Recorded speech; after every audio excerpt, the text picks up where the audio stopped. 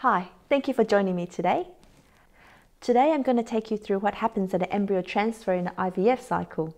Just a little behind the scenes look. After this.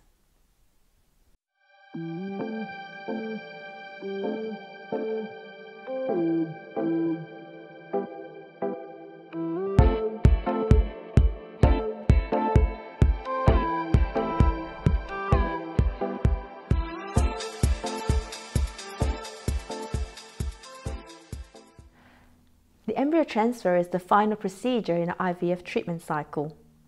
Anyone that has gone through an IVF treatment can tell you that it is a team effort.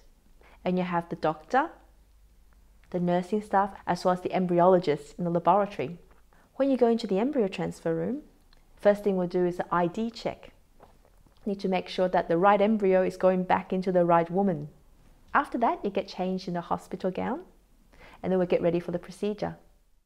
So right now, the embryologist is behind that green door doing a final ID check on that television screen.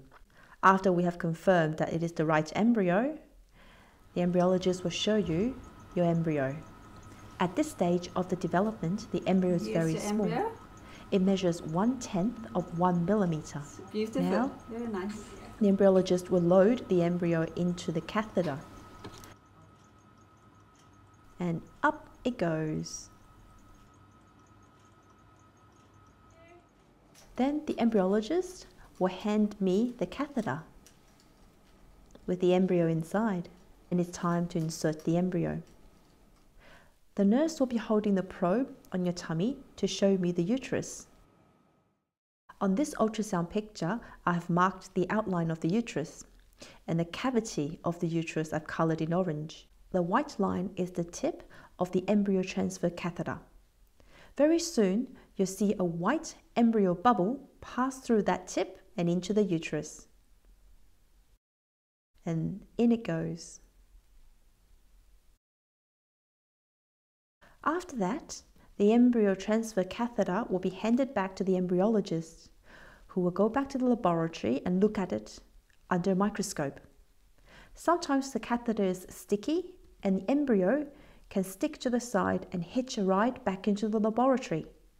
So we're going to wash the catheter. Those are air bubbles that you're seeing. So we'll wash the catheter to make sure that the embryo has come out safely from the catheter already. And that's the end of the embryo transfer. There you have it teamwork in action. Thank you once again for joining me today, and I'll see you next time. Bye.